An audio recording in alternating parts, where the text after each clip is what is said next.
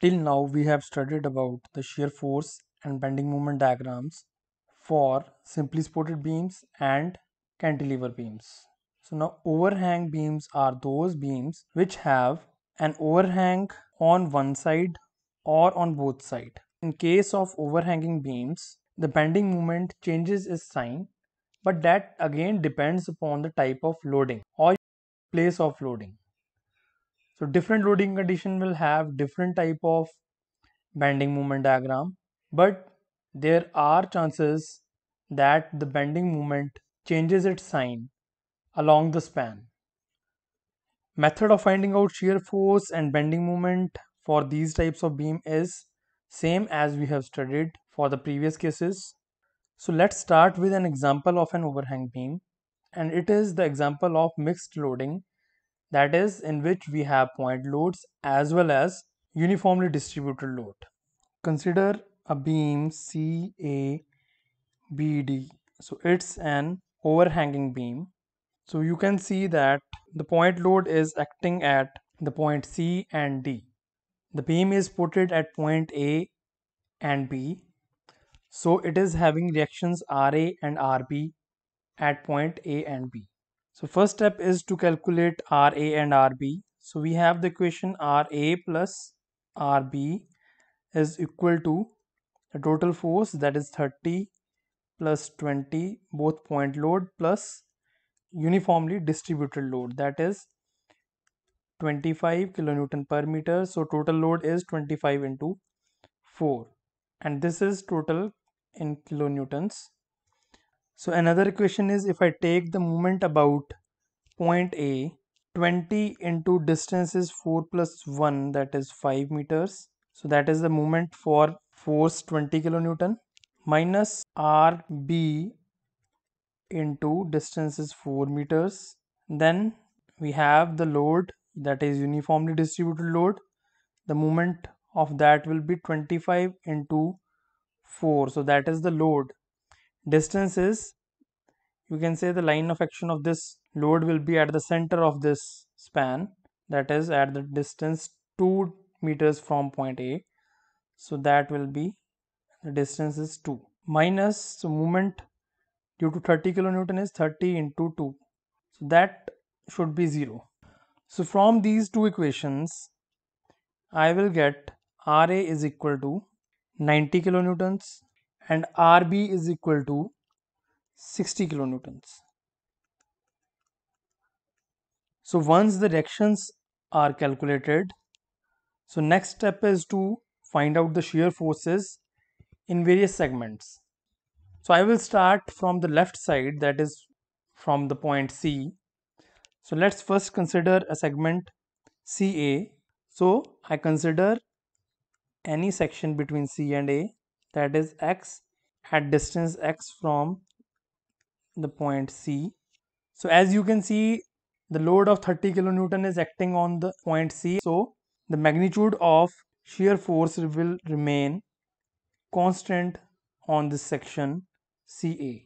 So now on the portion AB I consider the axis XX between A and B. So this is at distance x from the point C. So now as per the definition of shear force, it is algebraic sum of all the forces on one side. So in this, I am considering left side. So algebraic sum of all the forces on the left side is, so now 30 and it is in the direction anti-clockwise on the left side. So it is negative. So also on the CA, it, it should be negative. So it is minus 30 then plus that is 90 kilonewtons and then I have to consider the load due to this portion that is minus 25 into the length of the segment that is x minus 2. So this comes out to be 60 minus 25 x minus 2. So from here I can write that shear force at point A where the value of x is equal to 2 is 60 kilonewtons and shear force at point B where the value of x is equal to 6 is equal to 6 minus 2 is 4 so it comes out to be minus 40 So next is if I consider the section XX in the segment BD at the distance x from the point C, then the shear force in the segment BD will be given by so downward force is negative minus 30, upward force is positive plus 90, then minus 25 into 4 and the upward force due to the reaction is plus 60. This comes out to be 20 kilonewtons. So to plot the shear force diagram, we must have the values of shear force on all points like C, A, B and D. And we should also know about the trend of the variation. So here you can see that in the portion CA, it is constant. In the portion AB, it is varying linear with X. The shear force is function of X. And in the portion BD, it is again constant. So to draw the shear force diagram, let's consider a line that represents the zero value of shear force and its length is equal to the span of the beam. So I just mark the points C, then A, B and D. So now I just plot the values from these calculations. In the segment CA, it remains constant and its magnitude is minus 30. So in the segment AB, so when I see that at point A, its value changes to 60 kilonewtons, that means there is a step increase to 60 kilonewtons. And then at point B it is its value is minus 40 it is somewhere here the line joining the magnitude of 60 kilonewton to the magnitude of minus 40 kilonewton it is varying linearly with x. So I will draw a linear line. So now for the segment BD it remains constant and there is a step change here to the positive 20 so now you can see that the shear force is changing its sign and its value is 0 at point O. The location of point O is important. We will see that bending moment will gain the maximum value at the point where shear force changes its sign and its value at that point is 0. So in this figure we have a point O where the shear force is 0 and it is changing its sign. So to find its location, I consider the relation this one and equate it to 0. So if I equate 60 minus 25 x minus 2 to 0, so I will get x is equal to 4.4 meters. So now this 4.4 meters is the dimension from the point C. So next let's talk about the bending moment for this case. So now for bending moment analysis, again consider the segment CA. Let's consider any XX section on the left side of XX section. The moment is anti-clockwise. So that's why it will be considered negative. So it is equal to 30 into distance is x. So it represents a linear variation. So in section AB, if I consider at any point inside B, A and B a section XX and again it is at the distance x from the point C the equation for movement will be minus 30 into x that is force into distance then plus RA into distance. RA is 90 and the distance of RA is this much that is x minus 2 and then the moment due to the load that is uniformly distributed on the span on the left side of xx and that will be minus 25 into x minus 2 so that is the load. And distance of its action is x minus 2 by 2 so I can write x minus 2 square by 2 so this expression is an parabolic expression. So if I want to find out the values of moment at point A I just put the value of x is equal to 2 so when I put x is equal to 2 it comes out to be minus 60 kilonewton meter and if I want to find out its value at point B so I put the value of x is equal to 6 so I will get minus 20 kilonewton meter. So now also the point O that is lying inside the segment AB we have to find the value of moment at this point also so for that I will put x is equal to 4.4 moment at O is equal to when I put x is equal to 4.4 and by calculating it its value comes out to be 5.5 kilonewton meter. So here you can see that on at point A the value is negative at point B the moment is negative but at point O it is positive. That means somewhere in this segment the bending moment is also changing the signs. So there will be two points. So to find out that where it is changing the sign so we equate the equation for this portion portion to 0 so that means minus 30x plus 90 x minus 2 minus 25 x minus 2 whole square by 2 is equal to 0. So from here I will get two values of x. When I solve this equation I will get two values of x.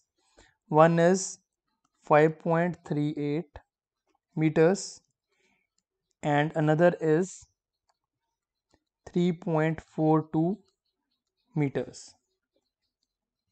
So that means at x is equal to 5.38 meters from point C and at point 3.42 meters from C we have these two points where the bending moment will be 0 and it will change the signs. So this we will see when we draw the bending moment diagram. So now for the further segment that is for the segment BD I will consider the section XX in this span. Again its distance is x from point C. So the moment about this axis will be minus 30 times x plus 90 that is direction into distance is x minus 2 and the upward reaction RB also 60 x minus 6 and then we have a downward movement due to this varying load between AB so for that the load value of load is 25 into 4. But when we calculate the moment, I will consider its line of action as the center of this load. So distance between this section xx and the line of action will be x minus 4. 4 is that is this 2 plus this 2 so this is x. So this distance will be given by x minus 4 so if I want to calculate the moment at point B I have to put the value of x is equal to 6 so when I put x is equal to 6 in this equation I will get it as minus 20 kilonewton meter. And at point D where x is equal to 7 the moment is 0 so if I plot the bending moment diagram again I have to take an axis that represents 0 level of bending moment. I mark the points A. So starting from this point C we have at point C we have when x is 0 mc is 0 at point A when x is equal to 2 ma is equal to minus 60 kilonewton meter. And the variation is linear. So that means at point A when we have the magnitude minus 60 then the variation is linear. Now in the section AB you can see at point A it is minus 60 and at point B it is minus 20 so at point B it will be minus 20 so now the variation in the segment AB is parabolic and its value is maximum at point O. So that means if I plot it it will be like this and its maximum value is here corresponding to point O and it is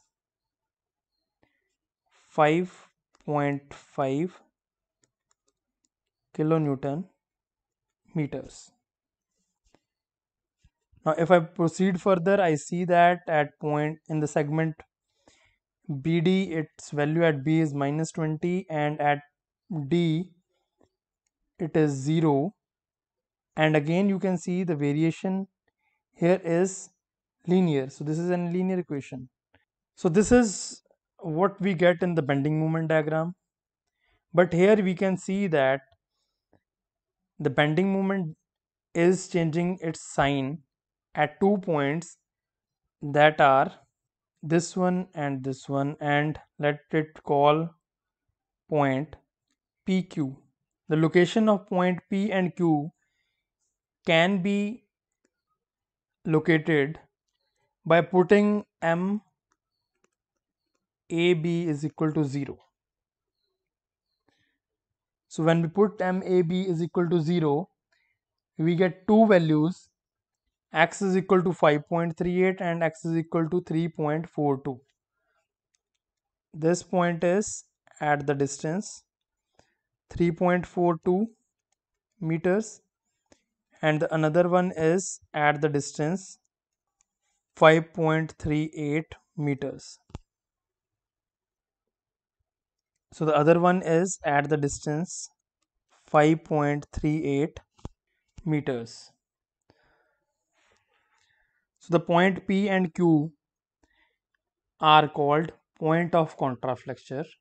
So in a beam, if the bending moment changes sign, at a point, the point itself having zero bending moment, the beam changes curvature at this point of zero bending moment and this point is called the point of contraflexure. So this is the definition or this is the way we explain the point of contraflexure. So now the point to remember is that the moment at these point is 0 and it is changing its sign from negative to positive or positive to negative. Because you can see that at point C and D the this condition is satisfied but the second condition is not satisfied. These two conditions that are satisfied are at point P and Q.